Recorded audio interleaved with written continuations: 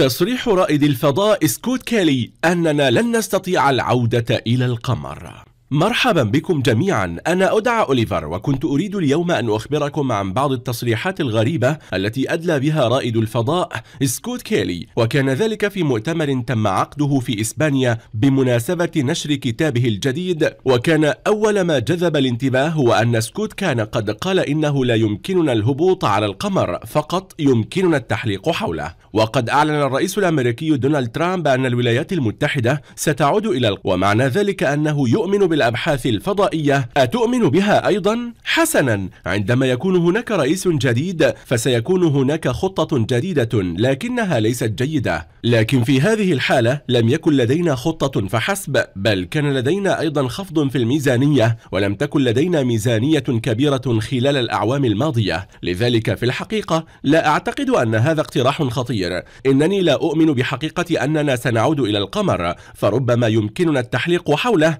لكن لكنني لست متفائلا بأننا نستطيع الهبوط عليها. ويقول ذلك بحجة أن ناسا لا تستقبل ما يكفي من المال وذلك نفس ما قاله رائد الفضاء بيدرو دوكي في مقابلة لقد انخفضت الميزانية المتاحة لوكالة ناسا بشكل كبير خلال السنوات القليلة الماضية فلم تعد تمثل أولوية وقد استقبلت ناسا في عام 2017 حوالي 368 مليون دولار وهو أكثر مما استقبلته في عام 2016 عشر. وكان من الغريب أن يعلن ترامب قبل شهرين أن الإنسان سيعود إلى القمر في غضون فترة قصيرة جدا. ثم تابع سكوت كيلي قائلا إنه من الأفضل الذهاب أولا إلى المريخ لأنه أرخص من الذهاب إلى القمر على الرغم أنه ربما لا يستطاع الذهاب إلى هناك بسبب نقص التمويل. إنه الجزء الحاسم بالنسبة لمستقبل استكشاف الفضاء لأن القمر قد يكون الخطوة الأولى للذهاب إلى المريخ. أتعتقد سيدي أن التكنولوجيا تكفي لتوضيح المرور عبر القمر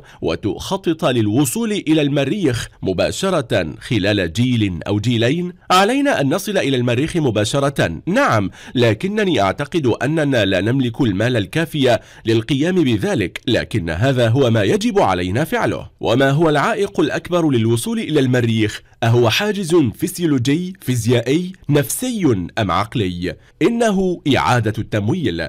ولذلك نلاحظ أنهم يقدمون الأعذار وفي النهاية لا يفعلون أي شيء مما يعلنون عنه. وأكد سكوت كيلي أن سياحة الفضاء ستمارس عملها خلال 15 شهرا أو 20 شهرا. إنهم يتحدثون طويلا عن موضوع الذهاب إلى القمر أو إلى المريخ لكن في نهاية المطاف لا يفعلون شيئا. وفي الحقيقة كان يجب أن تقوم السياحة الفضائية بخلق حقيقة واقعة منذ سنوات حيث تمسكنا بجميع الإعلانات التي أصدرتها وكالات الفضاء طوال العقود الماضية. والآن دعونا نعرف ما قاله سكوت كيلي عن أهمية الكائن البشري في العالم.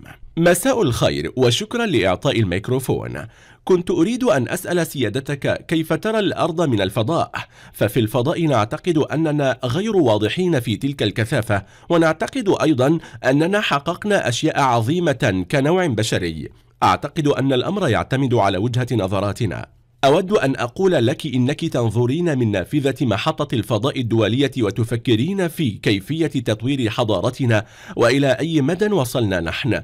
وحقيقة أن هناك أناسا في الفضاء فنحن نبحث في ذلك منذ 17 عاما وتنظرين أيضا إلى عدد النجوم الموجودة في الكون وهذا يجعلك تشعرين بأهمية كبيرة. وهذا هو بالضبط ما يكمن وراء النظرية المركزية للكون فالأرض هي مجرد كوكب من ملايين الكواكب المفقودة في الكون اللانهائي وهكذا يصبح الإنسان شيئا ضئيلا تماما مثل ذرة الغبار وهذا ما تذكرنا به دائما وأبدا. وكالة ناسا. وفي الواقع قاموا بنشر هذه التغريدة على تويتر والتي قمت بالرد عليها. إن هناك ملايين المجرات وبالطبع فإن الشيء الوحيد الذي يظهرونه لدعم نظرياتهم هو رسومات الكمبيوتر وترتبط أقوال سكوت كيلي بهذا الخبر. وقد وضعت شركة فضائية أمريكية في مدارها القمر الصناعي Star Humanity والتي تعني نجم البشرية. وأطلقت شركة Rocket Lab النيوزيلندية مؤخرا صواريخ تستخدم محركات سكان 3D وأرسلت إلى الفضاء جسما بدون هدف علمي معين يسمى نجم البحر وله شكل المجال الجيوديسي وقطره واحد ونصف متر ومصنوع من ألياف الكربون ومصمم لكي يعكس أشعة الشمس ويمكن رؤيته من أي نقطة على وجه الأرض. إن مخترعه يقول إنه موجود لتذكيرنا أننا ضئيلون جدا في محيط الكون وعلى موقع الإنترنت الخاص به هناك خريطة لمتابعة النجم في الوقت الحقيقي. والمثير للاهتمام أن مبتكر هذا المشروع بيتر بيك يؤكد أن البشر نادرا ما يتوقفون لإلقاء نظرة على النجوم ليدرك أنه في الكون مثل بقعة صغيرة من الغبار.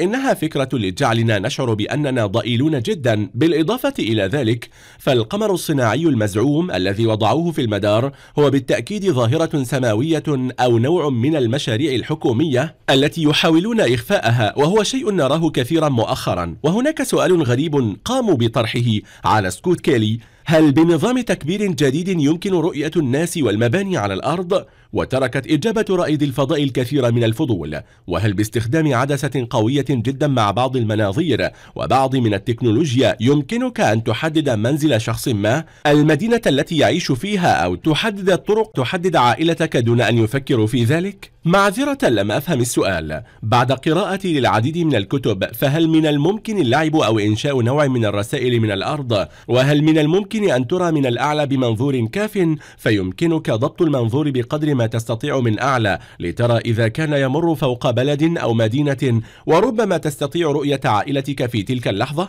إنك تسألني ما إذا كنت أستطيع رؤية أهل الأرض أجل على سبيل المثال أو رؤية مدينة نعم يمكنك رؤيتها على شاشة فيديو مثل الأشياء التي يمكن رؤيتها بالعين المجردة مثل المحطة الفضائية فيمكن بشكل أساسي رؤية المطارات ويمكن أيضا رؤية مدينة على سبيل المثال ويمكن رؤية مبنى لكن من الأسهل التعرف على المطارات من خلال الأسفلت وأيضا لأنها توجد في ضواحي المدن. ولا أعرف إذا كان هذا هو جواب سؤالك أو إنه قريب من ذلك. نعم تقريبا تلك هي الإجابة. لكننا نرى أن كيلي يحاول التهرب من السؤال ولا يجيب بشكل حقيقي عما يسألونه. وذلك لأنه في تلك المرتفعات يجب أن يكون هناك تسجيل أو صور تظهر القليل من الأشياء بالأسفل بالجزء السفلي من العالم المفترض. وحقيقة أننا في عام 2018 وما زلنا لا نملك هذه الصور تعتبر شيئا غريبا. وبعد التصريحات الغريبة يقول كيلي إن السماء ليست بلا حدود وأن الأرض تعتبر نظاما مغلقا. ينظر الناس إلى السماء ويظنون أنها تبدو بشكلها الكبير لا نهائية لكنها ليست كذلك. إنها بيئة مغلقة جدا. ومن الغريب أن الممثل بيلني الذي يدعي أنه فيزيائي فلكي قد قال أيضا إن الأرض ما هي إلا نظام مغلق ويبدو أنه يحب قول الحقيقة من حين لآخر. وهذه ليست المرة الأولى التي يقول فيها كيلي الحقيقة دون وعي. فقد فعلها على التلفزيون في الآونة الأخيرة. عندما قال أن الغلاف الجوي يبدو مسطحا من فوق. ومثل رائد الفضاء بيدرو دوكي أعلن كيلي أيضا على موقع تويتر أشياء تؤكد أن الأرض مسطحة. وفعل ذلك عندما قام بالرد على مغني الراب بي أو بي الذي كان يسعى للارتفاع للتحقق من شكل الأرض. وفي مؤتمر تم عقده في فلوريدا علق كيلي على الرد الذي قدمه بي أو بي على أن الأرض مسطحة. يبدو أن رواد الفضاء لا يمكنهم تقديم حجج منطقية وحقيقية. ويظل الكثيرون يتساءلون عن تلك الحقيقة التي باعوها. لنا. اشترك إذا لم تكن موجودا معنا في القناة وسأظل أتحدث عن تلك الموضوعات. وشكرا جزيلا لكم لكونكم هنا. إلى اللقاء في الفيديو القادم. إذا استمتعت في مشاهدة الحلقة لا تنسى الإعجاب والاشتراك في قناة. جميع الحقوق محفوظة لدى قنوات هل تعلم